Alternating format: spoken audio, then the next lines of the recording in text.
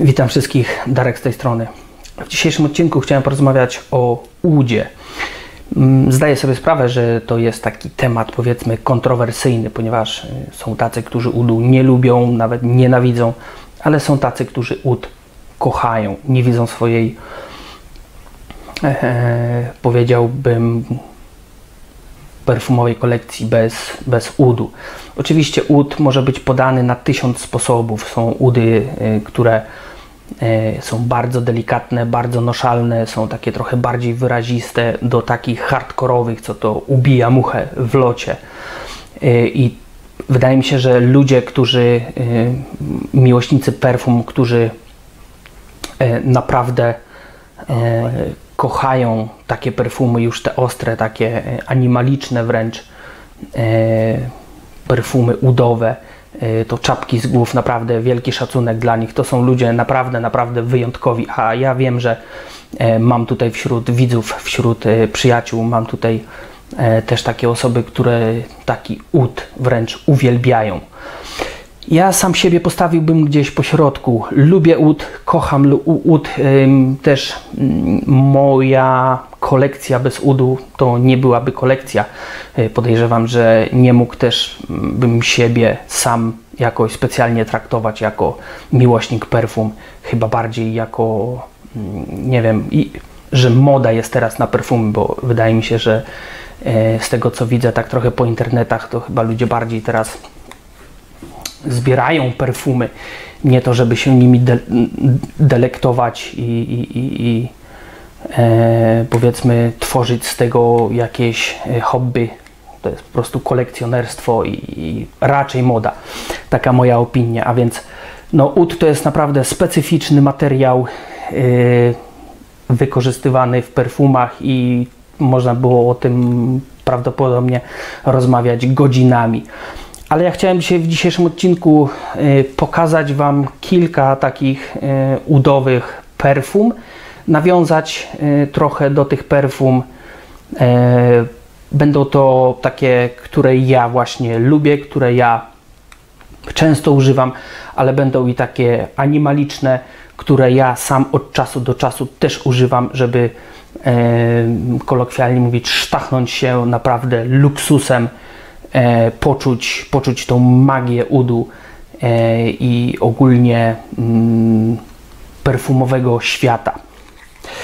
A więc zaczynamy. I chciałem zacząć od takiego powiedzmy lekkiego udu. Jest to Tom Ford e, Oud Wood.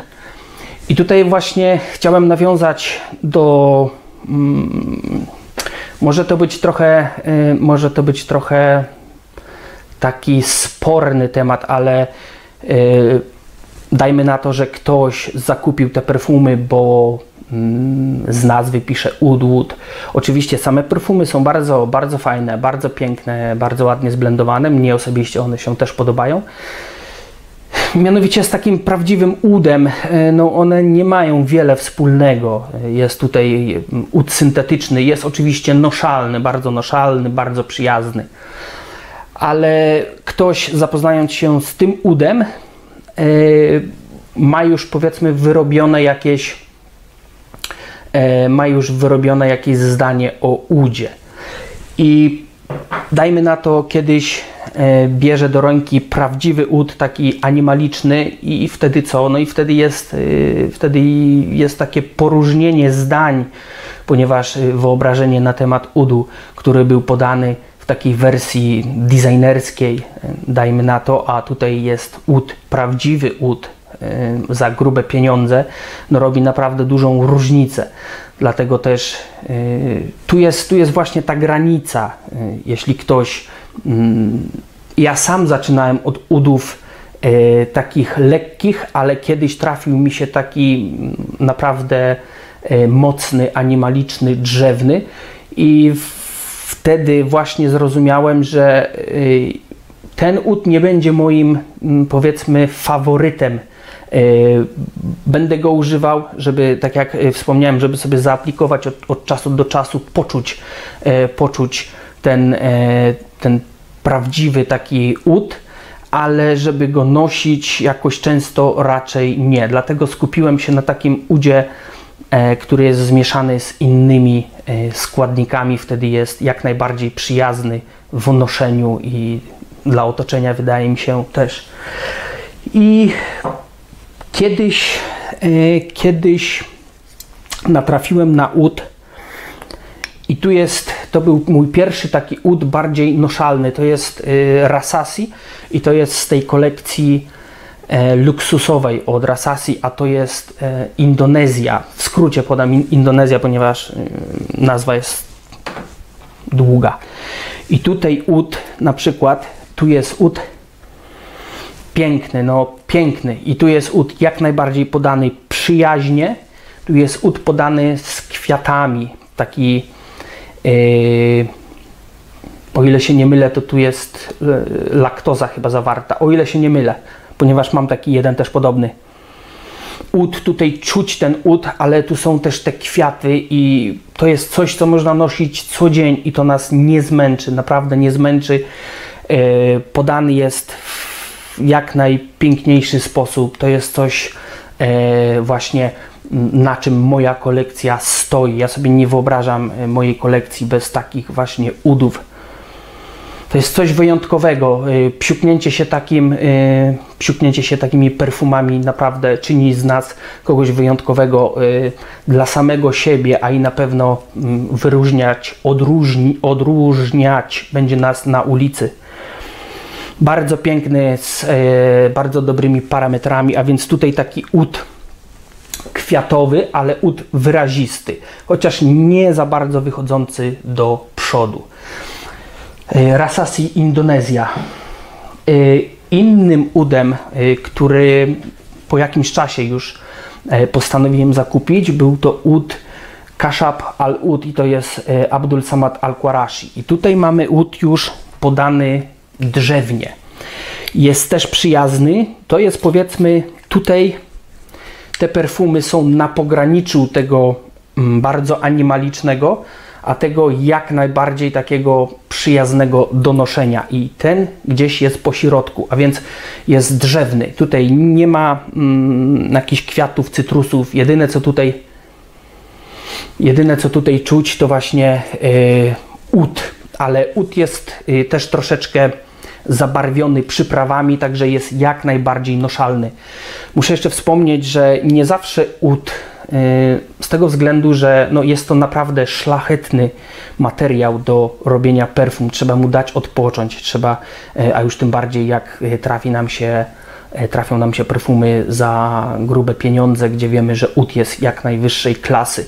Także trzeba psiuknąć i trzeba mu dać odpocząć. On, on dopiero nabiera swojej magii, swojego piękna po jakimś czasie, jak już nam siądzie na skórze. Tak jest na przykład w przypadku tych perfum. Zobaczcie, już chyba kiedyś pokazywałem, ale tutaj na dole są kawałki, kawałki takie patyczki udowe w środku. A więc tutaj mamy bardzo taki... Yy, bardzo szlachetny, bardzo dojrzały ud. E, jest taki mm, męski, bardzo męski. E, te perfumy ja bym widział e, na przykład mm, sezon chłodny, płaszcz, marynarka, te sprawy takie raczej ala elegancki strój i te perfumy i klient taki powiedzmy gość troszeczkę z zarostem, no to by było naprawdę mm, super idealna sprawa. To by było naprawdę piękne wykończenie całości y, aplikacja takich perfum na chłodny sezon.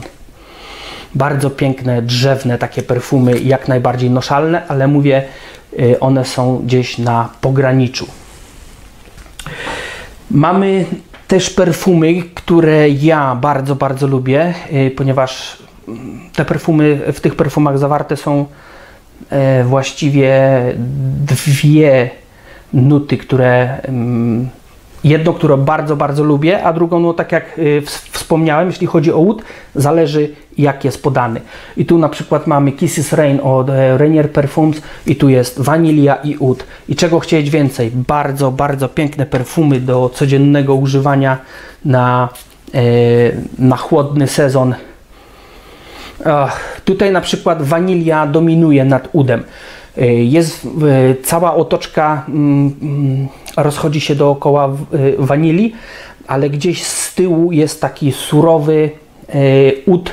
Wiecie, jak może nieraz w lesie byliście, gdzie takie spruchniałe drzewo, ale które jest bardzo, bardzo suche, które tak pachnie taką troszeczkę jakby stęchlizną. To właśnie tutaj y, ten ud jest w taki sposób podany. Jak najbardziej noszalne perfumy. y, Zobaczcie, już mm, sporo, sporo y, jak na mnie to naprawdę sporo e, już zużyłem, ponieważ i do pracy i na co dzień e, tych perfum dosyć często używam. Bardzo piękne. Następnymi też perfumami wanilia i ud to już są, no ja bym powiedział klasę, klasę wyżej, ponieważ tutaj ud jest naprawdę podany, y, tu jest żywy ud. Są to perfumy z domu Hint Al Oud, te nazywają się Emirati Oud i tutaj mamy tutaj mamy tutaj mamy piżmo i ten ud i taki daje waniliowe, to wszystko y, waniliowy posmak otoczka, ale tutaj no tutaj to, to jest podane w, naprawdę w sposób y, dla mnie wymarzony. Ja sobie nie wyobrażam mojej kolekcji bez, y, bez tych perfum na sezon ten chłodny, mm, optymalnie zi- zimowy. Piękne, bestialskie, bestialskie parametry, y, coś pięknego. Także tutaj na przykład ten ud jest tak podany, że mm, naprawdę, naprawdę wydaje mi się, w mojej opinii, że ciężko by było, żeby ktoś go nie polubił. Może musiałby się troszeczkę przyzwyczaić, ale ponosić go trochę, po, potestować, ym, poobcować z nim, ale wydaje mi się, że ciężko by było go nie polubić.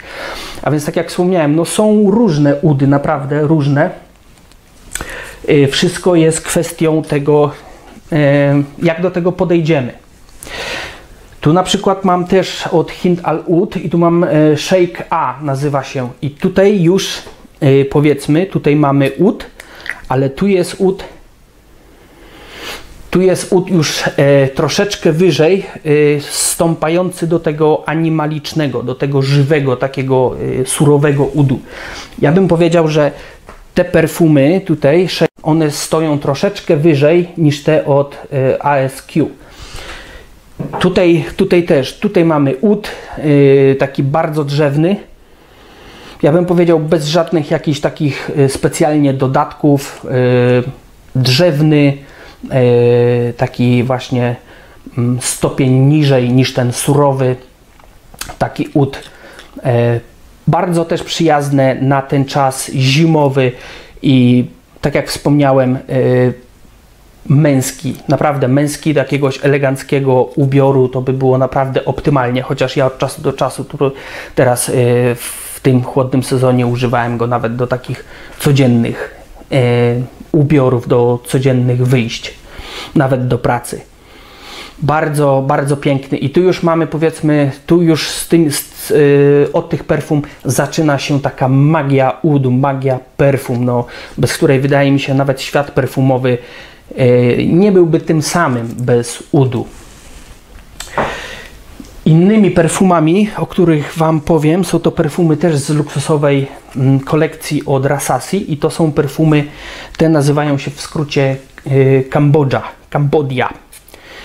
Ud kambodżański, a więc tutaj o, tutaj mamy ud, jest bardzo pikantny, jest bardzo ostry, jest cytrusowy ud i jak najbardziej noszalny. Tutaj e, wydaje mi się, że ciężko by też było, żeby ktoś nie polubił tego udu. Luksus, tu jest luksus, naprawdę czuć pieniądz, jeśli można było tak skwitować. Ja psiuknięty tymi perfumami, nawet jakbym był ubrany, nie wiem, Włachy jakieś do, nie wiem, do zbierania kartofli, to naprawdę w tych perfumach możesz się poczuć jak gość.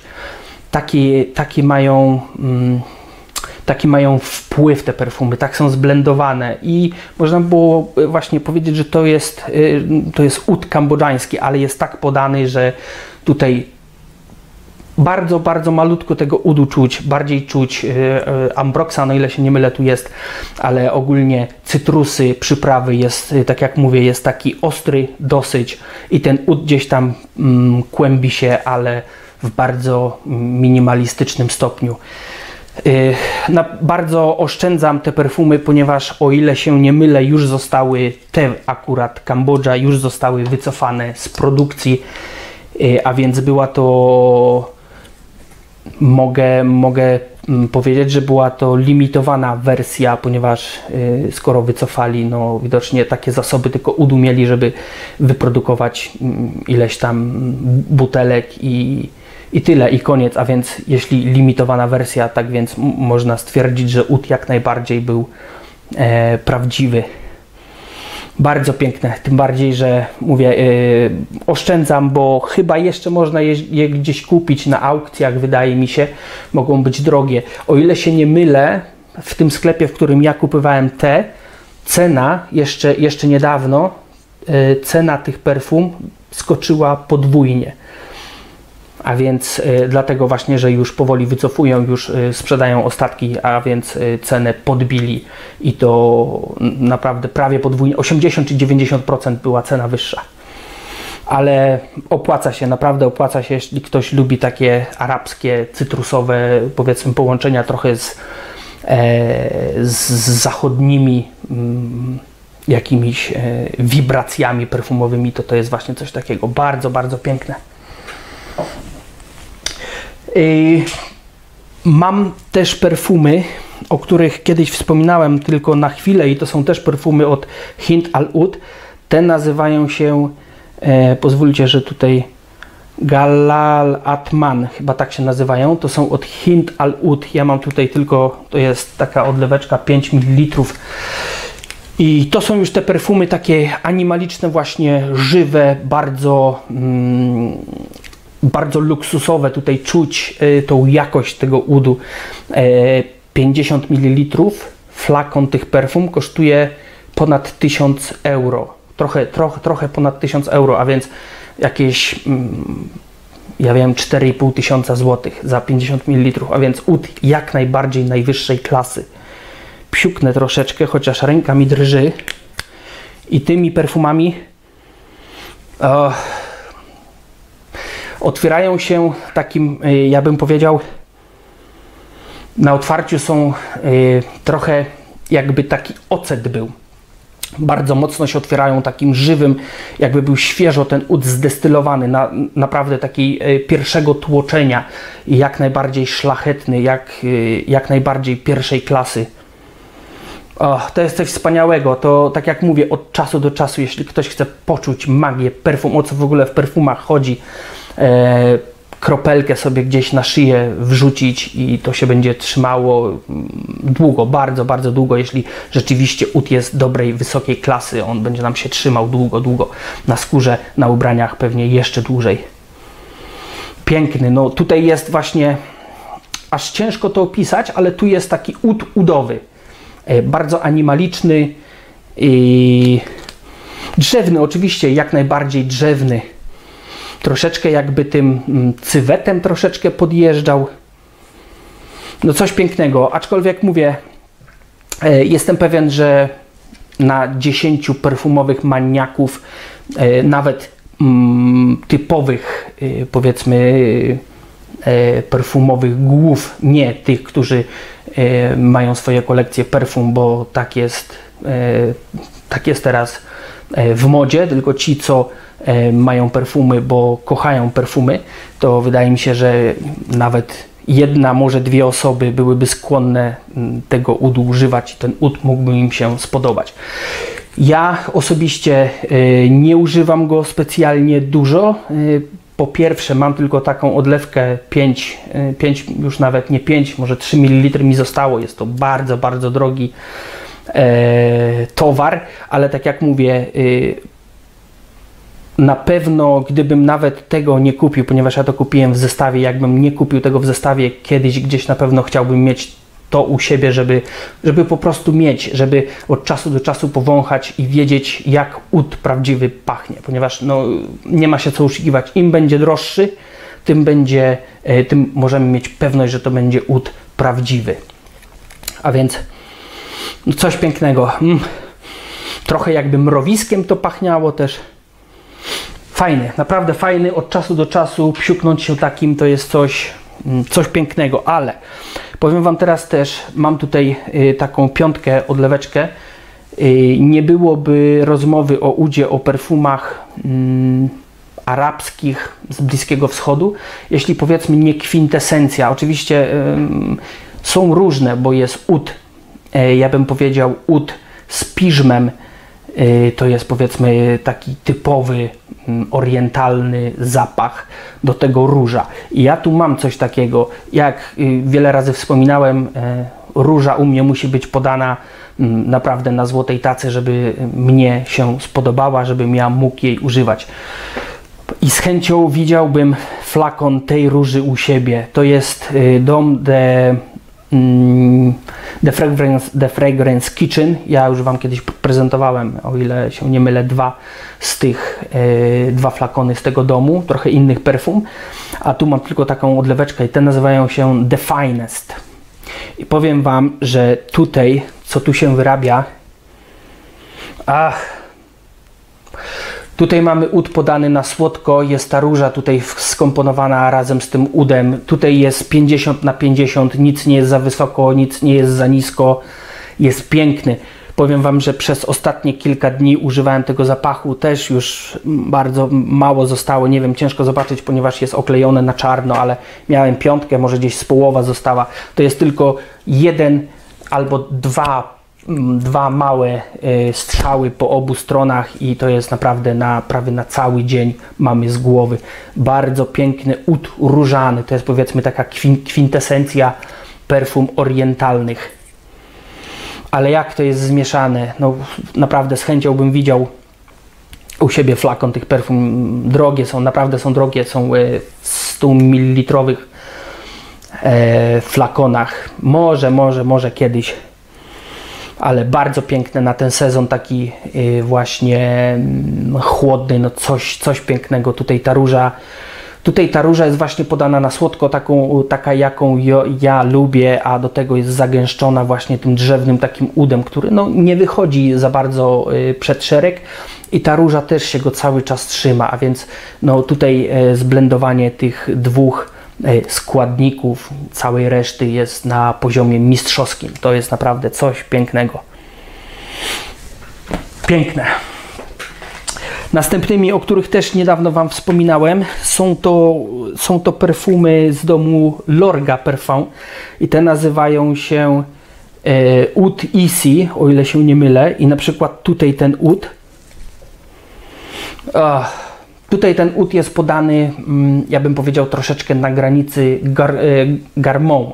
Jest tutaj wanilia, jest tutaj, o ile się nie mylę, cynamon i ten ud. I ten ud tak fajnie też wychodzi troszeczkę, e, cały czas czuć ten ud, e, wychodzi troszeczkę przed szereg, ale cały czas ta wanilia i resztę tych składników takie, które naprawdę są przyjazne do, do odbioru, cały czas go uspokaja, cały czas go uspokaja. Podobnie trochę, podobnie trochę jak tutaj, tylko że te są bogatsze. Te są na pewno bogatsze, o wiele wyżej stoją, jeśli chodzi o klasę.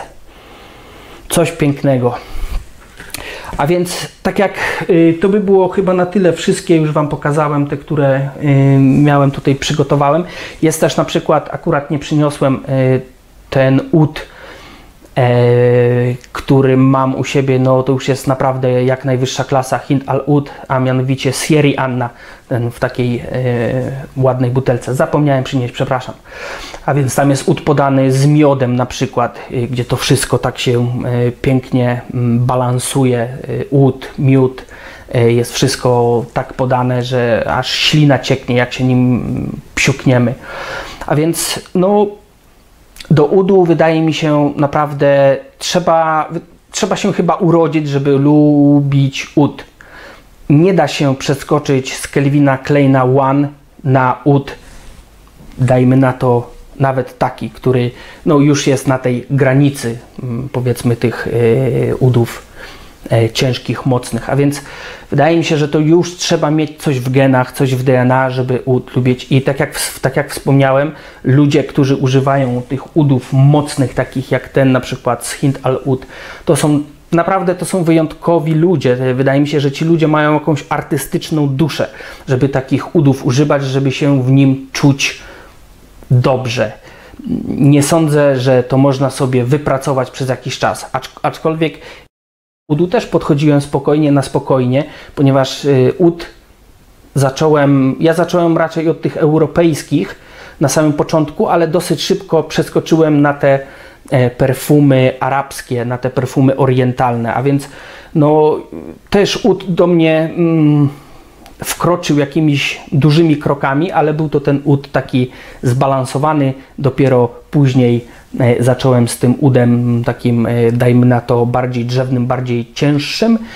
I do momentu, w którym miałem, mam nawet jeden flakon, miałem kilka, o ile się nie mylę, flakonów tego udu takiego e, animalicznego, ale na ten czas tamten ud mm, raczej nie zagości u mnie, ponieważ e, ja go mogę używać, oczywiście ja go toleruję, lubię, tak jak wspomniałem, od czasu do, do czasu sobie zaaplikować, ale wydaje mi się, że byłaby to strata, y, może nawet nie pieniędzy, ale samych perfum, ponieważ gdybym zakupił e, cały flakon takiego dro takich drogich perfum, a miałbym je używać tylko od czasu do czasu, no po jakimś czasie naprawdę mogłoby to, oczywiście trzeba było to przechowywać e, od, odpowiednio, żeby same perfumy nie straciły na, na wartości, a więc e, mogłyby stracić Mm, na wartości, leżąc nie wiadomo jak długo, używając ich tylko od czasu do czasu, a więc bardziej skupiłem się na tych perfumach, które mogę używać na co dzień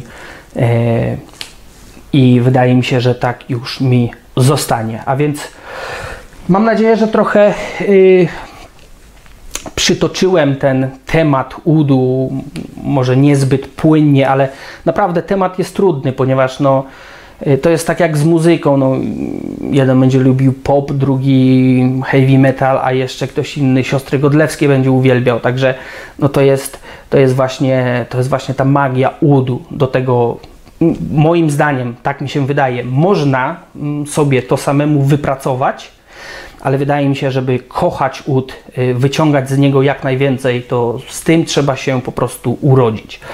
Taka moja skromna opinia.